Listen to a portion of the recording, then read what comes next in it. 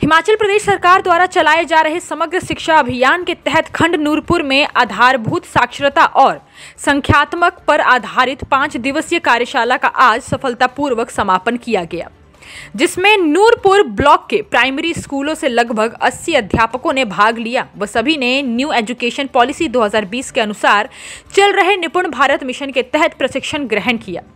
इस मौके पर खंड प्रारंभिक शिक्षा अधिकारी राम गोपाल, कार्यशाला के आयोजक बीआरसीसी प्राइमरी शैलेंद्र बुल्लौरिया ने मास्टर ट्रेनर व सभी अध्यापकों का विशेष रूप से धन्यवाद व प्रशंसा की।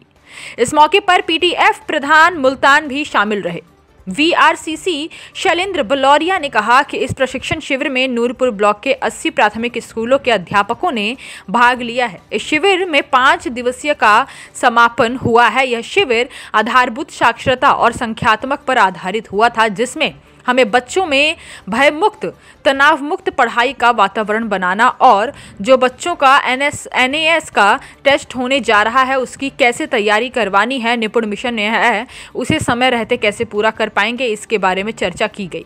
इस शिविर में सभी ने सराहनीय कार्य किया है।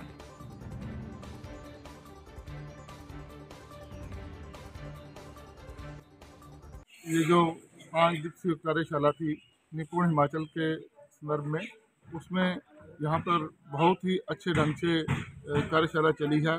जो भी आर थे स्टेट लेवल के और डिस्ट्रिक्ट लेवल के, उन्होंने बहुत अच्छा मटेरियल तैयार करके यहाँ पर ट्रेनिंग दी है। खेल खेल में गतिविधि के आधार पर कैसे बच्चों को सिखाना है, बहुत ही अच्छे ढंग से उन्होंने बताया है यहाँ पर। और संपर्क की तरफ़ से और प्रथम की तरफ़ से भी एक एक सेशन लगाया गया। उन्होंने भी बहुत अच्छे ढंग से यहाँ पर बताया है कि कैसे कैसे गतिविधि आधार पर और खेल खेल में बच्चों को हमने सिखाना है, कैसे निपुण बनाना है।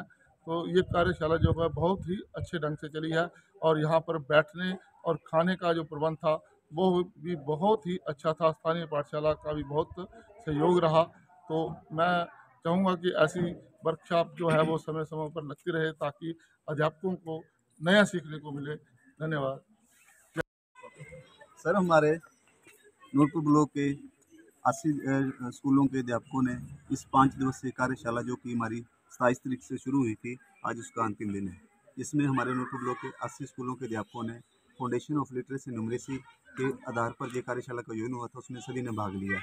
इस कार्यशाला का मुख्य उद्देश्य जो है, जो भी हमारा एनएएस का एक अचीवमेंट टेस्ट होने जा रहा है, उसके लिए बच्चों को कैसे तैयारी करवानी है? और दूसरा foundation of literacy and numeracy पे जो हमारा निपुण हिमाचल का मिशन है, उसको हम कैसे समय रहते पूरा कर सकेंगे? इसके बारे में पाँच दिन जो है वो चर्चा की गई। इस कार्यशाला में सभी जो शिक्षण था, वो गतिविधि आधारित था, कैसे हमने स्कूलों में भय मुक्त वातावरण का आदान प्रदान करना है और कैसे बच्चों को हमने डर रहित शिक्षा प्रदान करनी है।